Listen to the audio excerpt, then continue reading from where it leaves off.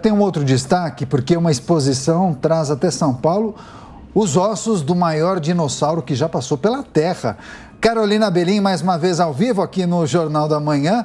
Parque do Ibirapuera, é isso mesmo, Carol? Conta pra gente essas atrações que certamente vão agradar muitas pessoas, né?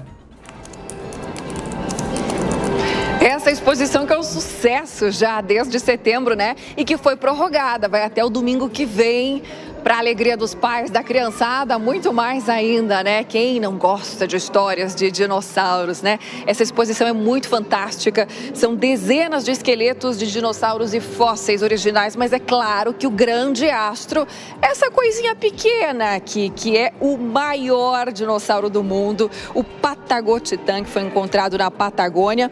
Uma coisinha assim, ó 72 toneladas estima-se que ele pesava e 40 metros de comprimento. Vamos saber um pouquinho mais sobre ele com o Bruno Araújo, que é biólogo, paleontólogo. Vai conversar conosco. Bruno, me conta como é que foi. Ele foi encontrado numa situação inusitada. Um senhor estava buscando uma ovelha, não encontrou ovelha, achou um osso, um fêmur dele? Exatamente, né? Justamente a primeira parte que foi encontrada foi um dos fêmurs é, e foi da família Maio lá na Patagônia, né? Então, por isso, até mesmo porque o nome dele é Patagotitã Maiorum, em homenagem a justamente essa família. Agora, uma curiosidade que eu tive, Caniato, vocês devem ter também, ele não era carnívoro. Como que sustentava todo esse peso aí? justamente, ele era um herbívoro, ele comia aproximadamente 800 quilos de plantas por dia. E junto com ele é interessante que foi encontrado também uma estrondosa floresta com árvores assim até de 15 metros de comprimento. Então, bichinho ficava, passava o dia inteiro comendo plantinha. E o hábito dele, ele percorria muito, se deslocava muito? O que, que a gente pode falar dessa espécie?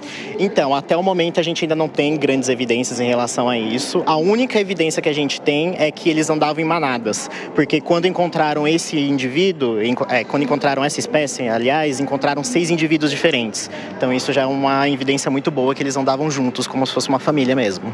Gente, eu quero dizer que assim, ó, ele só tá, a gente só tá assim, é, um pouco distante, é, justamente porque a gente está numa parte mais alta. Mas se eu chegar ali pertinho, eu com o meu 1,64m, vocês teriam uma dimensão do tamanho desse dino. Mais detalhes dessa exposição, deixa eu dar o serviço aqui para vocês. Como eu disse, vai até o domingo que vem. Tem diversos outros dinossauros expostos, explicações aqui por parte da equipe. É no Pavilhão das Culturas Brasileiras, que fica no Parque Ibirapuera, de terça a sexta, das 10 da manhã às 7h40 da noite. No sábado e domingo, a partir das 9 da manhã até às 7h40 da noite. Os ingressos vão de 20 até 50 reais e crianças até 2 anos de idade não pagam. Eu não preciso nem dizer que as crianças adoram. O que o pessoal me contou que quando eles chegam aqui, justamente no Patagotitã, todo mundo diz. Oh!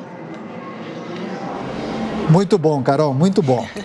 Ela está super animada ali já participando, gostando bastante da exposição. Obrigada pela sua participação, viu?